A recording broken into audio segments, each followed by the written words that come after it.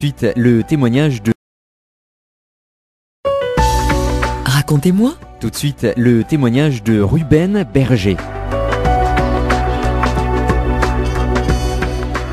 Je commencerai en lisant quelques, quelques versets du prophète Isaïe au chapitre 49 et versets 14 à 16. Sion disait, L'Éternel m'a abandonné, le Seigneur m'a oublié. Une femme oublie-t-elle son nourrisson? N'a-t-elle pas compassion du fils de ses entrailles? Quand elle l'oublierait, moi, je ne t'oublierai pas. Voici, je t'ai gravé sur mes mains, tes murs sont toujours devant mes yeux. Moi, je suis né à l'année 1944 aux États-Unis.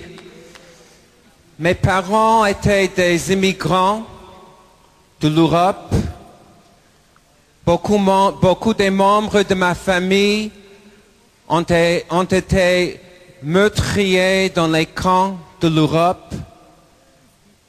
Et dès le temps que j'étais petit enfant, j'ai senti et j'ai expérimenté l'ombre de la mort et l'ombre du Shoah sur ma vie. J'ai agrandi dans une famille juive orthodoxe traditionnelle et la tradition juive était vraiment mon identité. Et toutes les années de ma jeunesse, j'ai expérimenté un paradoxe très profond. De l'un côté, j'ai compris que Dieu, par sa grâce, a préservé le peuple d'Israël selon sa parole. De l'autre côté, j'ai senti qu'il nous a abandonnés à une souffrance extrême pendant des générations. De l'un côté, j'ai senti que Dieu était présent avec nous en cachette, mais de l'autre côté, d'une manière très forte, j'ai expérimenté l'absence et le silence de Dieu. De l'un côté, j'ai expérimenté une tradition juive, religieuse, très forte, pleine de richesses, mais de l'autre côté, j'ai aussi compris que nous étions aveuglés et que nous avons perdu la vraie clé à la sagesse et à l'amour de Dieu. Dans le milieu juif, j'ai senti des gens d'un côté qui sont des gens religieux, mais de l'autre côté, une absence de foi terrible. Surtout quand quelqu'un est mort, on a toujours senti la mort et la fin. Il n'y a pas l'espoir de la résurrection.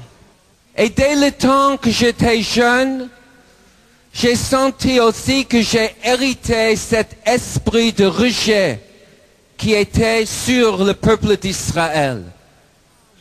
Nous, comme des juifs, nous étions complètement séparés des non-juifs, même si j'étais à New York, cette grande, ville, mais en même temps, encore ce mur de séparation totale entre les juifs orthodoxes et les non-juifs. J'ai prié Dieu, j'ai loué Dieu. Dans mon cœur, il y avait un amour pour Dieu, mais en même temps, j'ai pas connu en vérité le Dieu d'Israël, le Dieu de mon peuple. Et j'ai senti toujours sans savoir exprimer, il y a quelque chose qui manque. Dans cette tradition rabbinique, j'ai lu toute la Bible par des lunettes rabbiniques et j'ai senti, nous avons perdu la clé. Quelque chose de plus important manque. Et comme a dit Saint Paul, de l'un côté, la sainteté de la loi, de l'autre côté, le péché dans ma chair. Et toujours ce combat entre ma chair qui voulait accomplir la parole de Dieu, mais j'ai senti dans ma chair la concupiscence, la sensualité pécheresse, et je me suis senti toujours condamné devant cette loi sainte de Dieu qu'il a donnée à mon peuple. Et après un temps, j'ai senti que je ne peux pas continuer à vivre toujours avec cette condamnation. Mon frère, il était un grand pas. Il a quitté le milieu juif orthodoxe et cela a créé un choc terrible dans la famille et aussi dans toute la communauté juive où nous étions. Et lui, il est parti dans le monde. Moi, quelques années après, moi aussi, j'ai fait cette décision parce que j'ai senti que dans ce milieu, je ne trouverais pas le Dieu vivant.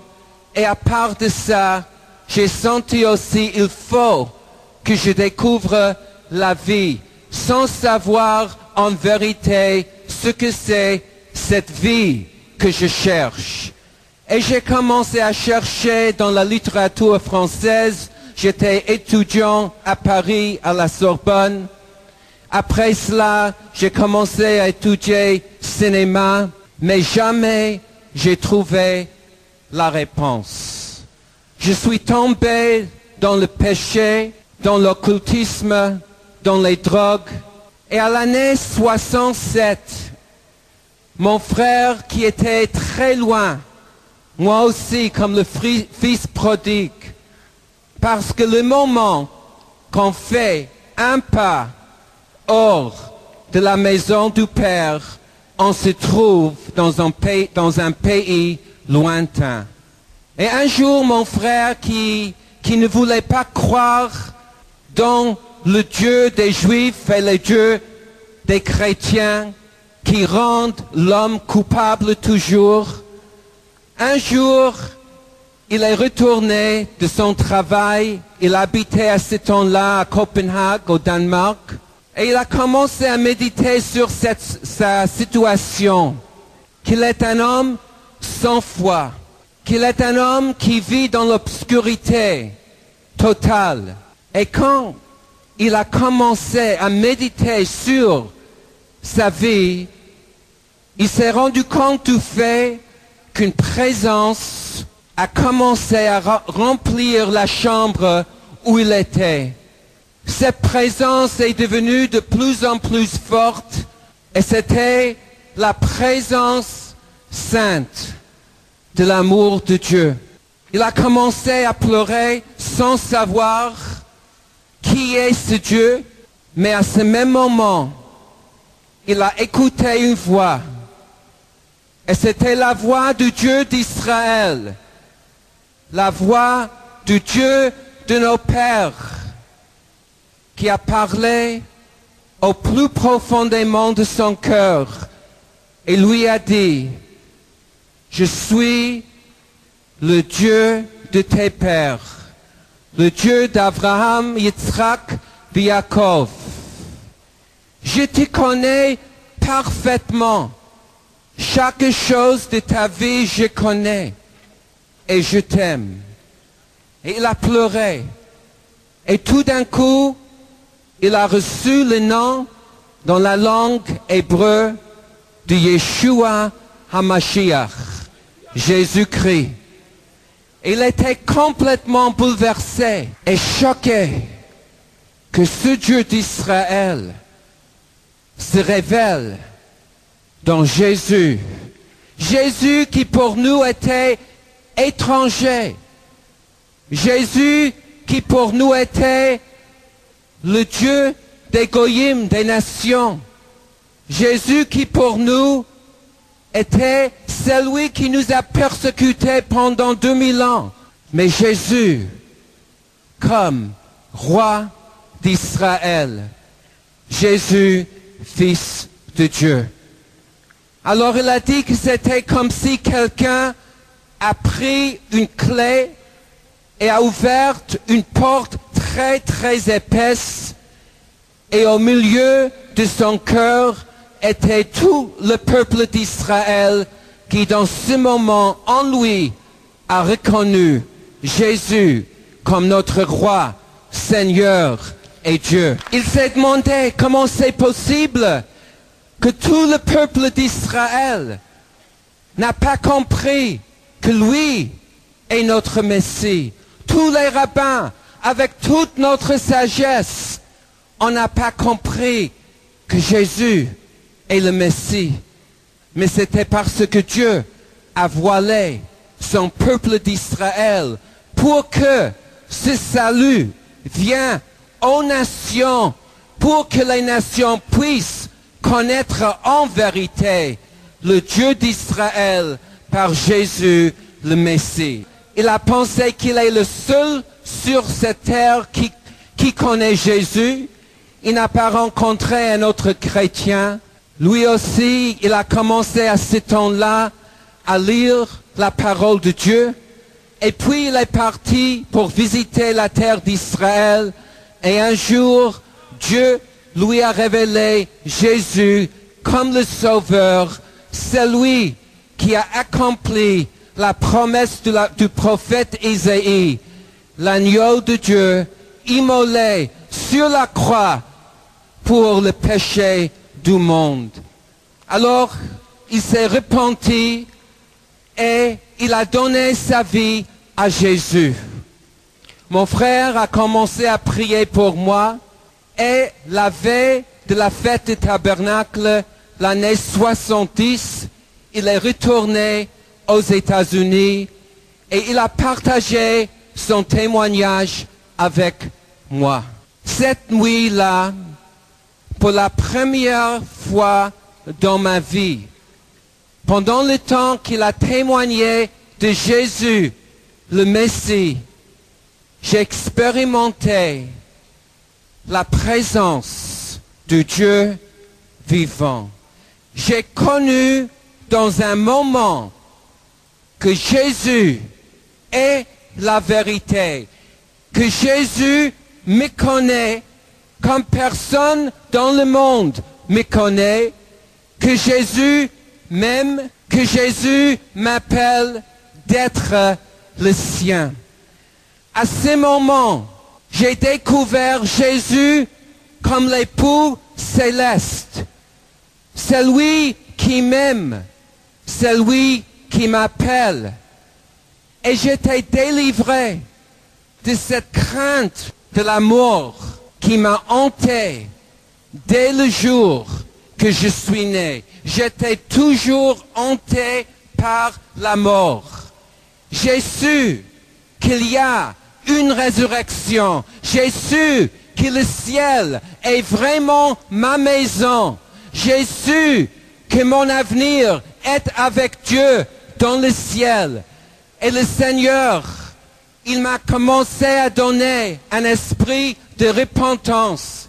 Il m'a montré mes péchés, mais il m'a aussi donné la force de vaincre le péché. Il m'a délivré des démons. Il m'a délivré pour être fils de Dieu vivant. C'était pas comme c'était sous la loi de Moïse. J'ai su que je suis pécheur, mais sans avoir la force de Dieu, la puissance de Dieu pour vaincre le péché que Jésus nous donne comme sauveur, celui qui nous délivre du Satan, du mal et de l'enfer et qui nous donne la promesse de la vie éternelle qui vient seulement par Jésus-Christ. La présence de Dieu a rempli ma vie. Toutes choses étaient remplies par l'amour de Jésus. Les fleurs, les hommes, tout avait un parfum de l'amour de Jésus. J'étais rempli avec cette première amour pour Jésus, le Messie. Et puis, j'ai découvert que ce voile était enlevé de mes yeux. Toutes les années que j'ai étudié la Bible, j'ai même chanté la Bible dans la synagogue, j'ai pas compris la Bible. J'ai commencé à relire la Bible sans l'interprétation rabbinique dès le commencement du premier livre de Genèse. Et partout, partout, sur chaque page, dans toutes les prophéties, j'ai vu Jésus, la parole de Dieu. Comme juif, c'était la plus grande découverte parce que j'ai compris que le Dieu d'Israël vit en vérité. Et puis, il m'a montré dans sa parole qu'il a un plan pour le peuple d'Israël. Qu'on est, est vraiment arrivé au dernier temps. Que mon frère et moi, nous étions seulement des prémices, mais que Dieu est en train d'enlever ce voile de son peuple exactement comme dans l'histoire de Joseph et ses frères. Quelques jours après ma conversion, j'ai écouté la voix de Dieu et Dieu m'a dit, va en Israël. Et en tant que juif, j'ai compris qu'il n'y a pas aucune autre raison d'être de ma vie, sinon être disciple consacré à Jésus et le suivre où il va m'amener. Le jour même qu'il m'a appelé, j'ai acheté mon billet pour partir en Israël. Quand je suis arrivé, il y avait très, très peu de juifs croyant en Jésus. Mais en même temps, il y avait des juifs dans plusieurs terres du monde qui ont reçu ou une révélation directe ou seulement le Seigneur a ouvert leur cœur et ils ont aussi reçu la révélation que Jésus est le Messie. Et le Seigneur a commencé à les appeler de retourner dans la terre sainte. Aujourd'hui, en Israël, dans chaque ville et dans beaucoup de villages, il y a ou des groupes de prière ou des églises messianiques. Ça, c'est vraiment un signe prophétique de Dieu pour l'Église et pour le monde. Pas seulement que Dieu a commencé à rassembler le peuple d'Israël dans la terre d'Israël, selon les prophéties, qui est un grand miracle de Dieu, même dans l'endurcissement et l'aveuglement d'Israël, même que nous n'avons pas donné la gloire à Dieu pour tous les miracles qu'il a fait pendant les années, mais c'est la main de Dieu. C'est la main de Dieu qui va aussi ramener le peuple d'Israël, pas seulement à la terre d'Israël, mais à la maison du Père. Israël dans leur terre. Et le fait que des milliers de Juifs en Russie, aux États-Unis, en Europe, en Éthiopie, commencent à croire en Jésus, c'est le commencement de l'accomplissement de la parole de Dieu selon les prophètes et les apôtres. Jésus va retourner pour une épouse, une épouse sanctifiée qui a passé par le feu de purification et de sanctification qui suit l'agneau où il va. Une épouse qui a une vision céleste. Une épouse qui se prépare pour le festin des noces de l'agneau. Une épouse qui a aussi un cœur pour le monde parce que on est vraiment dans le temps avant l'ère antichrétien. Il n'y a que quelques années que le Saint-Esprit nous donne que nous puissions toujours travailler avant que la nuit va venir. Exactement comme Jésus a dit. Et c'est pour cela que c'est tellement important que l'Église entre dans son appel, être debout devant Dieu jour et nuit dans les intercessions du travail, d'accouchement, que la présence de Dieu et le Saint-Esprit puissent être répandus sur cette terre avant la fin. Dieu nous donne un temps. Et Jérusalem, c'est au centre aujourd'hui du plan de Dieu. Jérusalem a une place centrale, même si notre appel est à la Jérusalem céleste. Jérusalem, c'est la ville où Jésus va régner sur la terre et le royaume de Dieu s'exprimera dans toute sa plénitude de Jérusalem par Israël à tout le monde.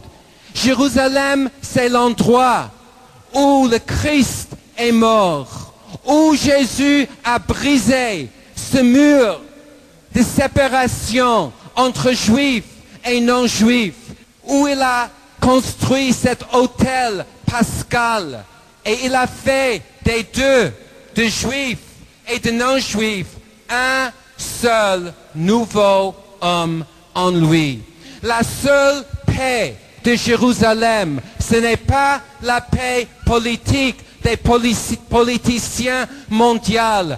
La paix de Jérusalem, c'est par le sang de Jésus-Christ. Et Jérusalem sera, comme la Bible nous dit, une pierre d'achoppement pour toutes les nations et même pour beaucoup de chrétiens qui ne comprennent pas que la paix se fasse seulement à travers la croix de Jésus-Christ, à travers l'unité qui se fait autour de l'agneau de Dieu.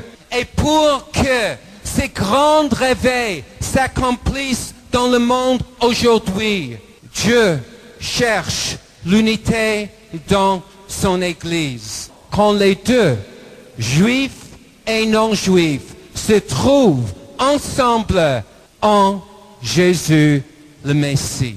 Après le Shoah, il y a une blessure si profonde dans le cœur du juif que seulement Dieu puisse guérir. Mais Dieu a un chemin.